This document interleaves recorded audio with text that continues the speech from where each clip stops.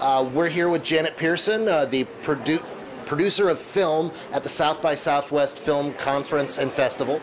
Uh, so, uh, why don't you start off and tell us a little bit about your history uh, of uh, how you got involved with independent film, and because you've got a long, long history with that. Yeah, well, it's, it's too long to go into in detail, but the uh, I've been involved since the late '70s. It's pretty much a champion through distribution and exhibition. A lot of uh, working with new talent. Uh, some of the more famous names. There was a period in the '80s when my husband and I worked together, and we were involved with the first films of Spike Lee, Michael Moore, Richard Linklater, and Kevin Smith. Two dozen filmmakers, but they're the, ones people know the best. And we help them um, come in near the end of their films and kind of help them connect with an audience, which is it's funny because that's kind of what I see my role as now is kind of helping talent connect with audience.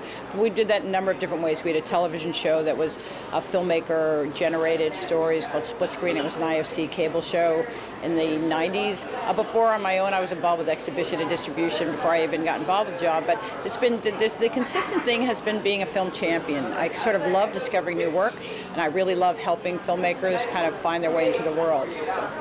All right. So, how did you get involved with South by Southwest? I moved to we moved to Austin um, in 2004. My husband was going to teach at UT producing, and I was immediately asked to join the Austin Film Society board. And I just kind of got to know Austin film and kind of you know made myself really available and and, and kind of really had fun with the scene here. And kind of and I started doing. I got very close to Matt Dentler, who was the my predecessor as the festival producer and I became one of his volunteer screeners and, and just kind of paid attention to the scene here. Went to everything, saw a lot, got to know people. And when Matt decided to move to New York to join, uh, run Cinetic Digital Rights Management, which is kind of this cool evolution for him, he's kind of taken this new work that he loves and finding new models and trying to find money streams for the new, whatever the ways people are going to see movies now. Uh, there was this void, and kind of internally, South by looked around and thought, okay, who who could fill in, and I was the person who paid the most attention, and been kind of doing this work in a number of different angles for so many years. So they asked me, within about 48 hours, they asked me to step in. Right on, and, and of course those are kind of big shoes to fill. We everybody kind of had this big uh, moment of oh, the moment we heard Matt Dentler was stepping down because for years it was it was it seemed like he was going to be here forever.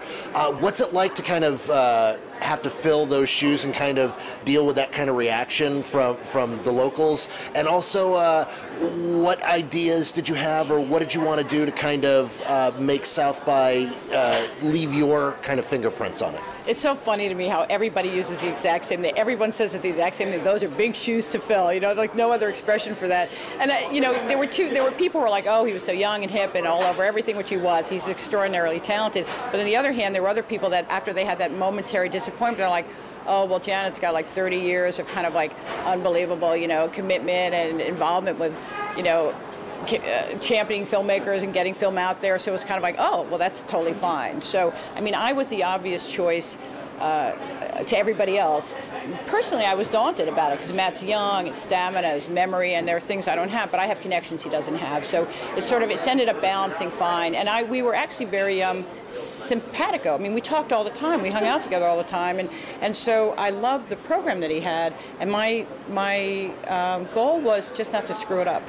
you know, I really know because it's it's really people love this festival, and I I love this festival. I was a hard user of it, and I was like, I want to keep it what makes it vital but times are changing, and so how do you also have it evolve in a proper fashion? So, you know, I immediately, I immediately like reached out to the interactive. Um, arm of, of South by Southwest. I'm like, how can we, so, you know, we're already ahead of the conversation and all these new models and kind of changing exhibition and distribution streams. And it's like, how can we talk more? How can we get our people talking more? And um, and I think it, I didn't set out to change anything. I actually set out to um, I used his programming as a model from studios like subversive comedies. Absolutely, it was like, oh, would there would there be something? And then I Love You Man was sort of perfect that way to kind of micro budget discoveries, which I've always been involved with, with interested in that really small budget stuff. And documentaries have always been strong here, but with no agenda. They're like documentaries across the spectrum. So that was like the blueprint. And I even followed the last year's program in terms of, oh, let's see, there were maybe 10 films from Sundance last year, so I'm going to set my limit at 10. But actually, I went to about 14. But it was like a guide of like how many world premieres or how many films that had been elsewhere. And then after that, it just became. Uh, I followed my own instincts. There were a lot of same people in place in terms of uh, volunteer screeners. I have a network, you know, somebody like I made made sure to go talk to Harry and kind of say, hey, you know, what's interesting to you? What do you like about South by? What's how, what's at work? You know, we, we created this partnership with Tim League to have six uh, midnight premieres from the Fantastic Fest because genre films is not my strong point. I'm kind of an art art girl or high and low, but genre is not my strong place. So I thought, you know, I, the work that the Fantastic Fest does, I'm like, I'm not going to get up and do interactive movie going and costuming and beer drinking, but but like, why would I even try? Why not have Tim bring it? You know? I don't I don't know what you're talking about. beer drinking. I I was not involved in any beer drinking, nor uh, would I ever admit to it. I was at the Bach premiere the other night. I mean, you know, so I wanted that kind of showmanship, and I'm like, I can't do it, but hey, why don't I get the best? You know? So it's like been this wonderful partnership. We're already South by's got this really great partnership with the Alamo. So like, why not?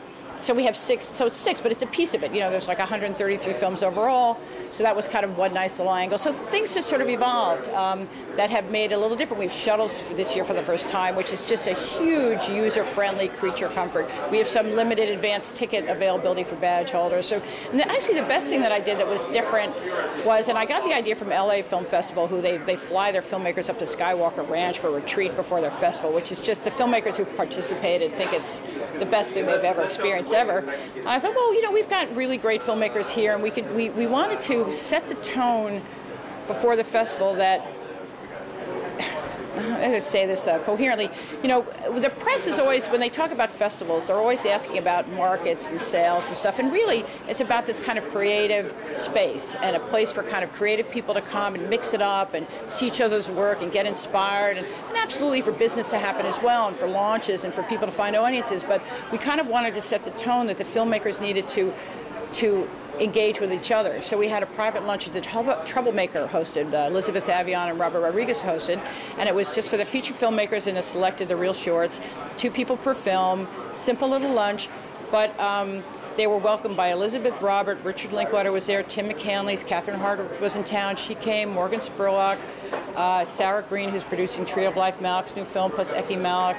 Um, and it was, and we're standing there in a, in a sound stage, a troublemaker, and it was, and I kind of looked at the sign and I thought these are just Austin filmmakers. They live here and they care about other filmmakers and they wanted to kind of show their support to. And they were saying things like, "Hey, we met each other."